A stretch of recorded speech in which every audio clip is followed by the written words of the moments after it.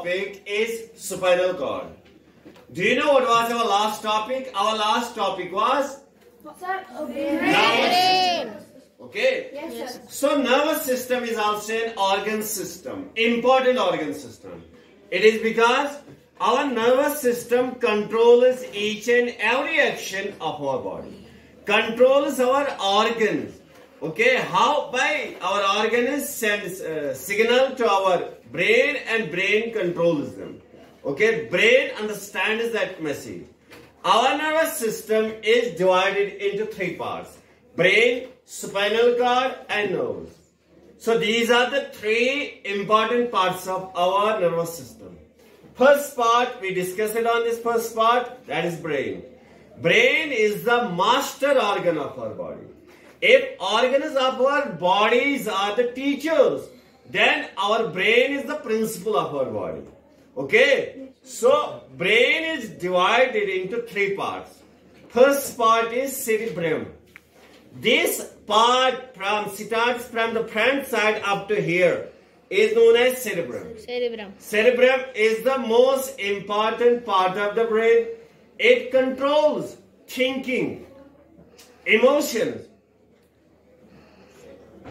Okay? So this is the most important organ of our, most important part of our brain.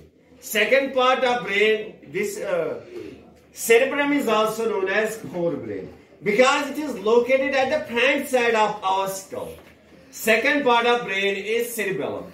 Cerebellum is the second part of our brain and it controls the movement of muscles and balance of our body.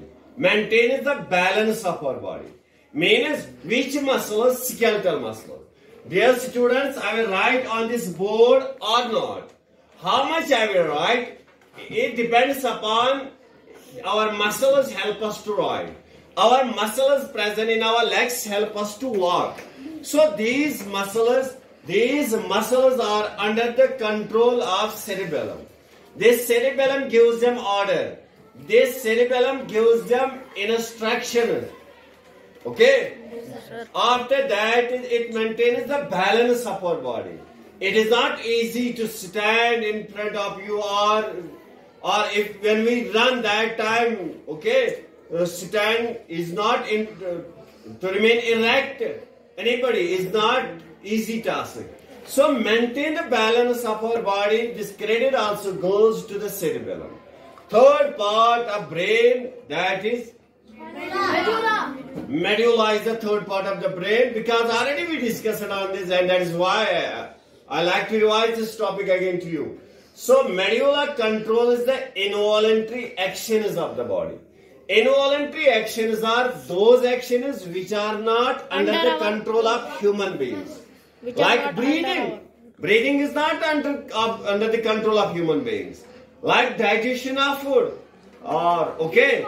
So, yeah, beating of heart. These actions are not under our control. So, this medulla control is involuntary action. Two parts of the brain, cerebrum and cerebellum, they do rest at night. But third part, medulla, remains active even at night also.